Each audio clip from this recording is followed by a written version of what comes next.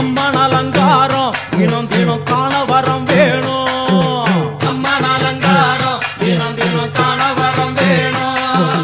அம்மன் அலங்காரம் கண்டு விட்டா நம்ம குற தீரும்.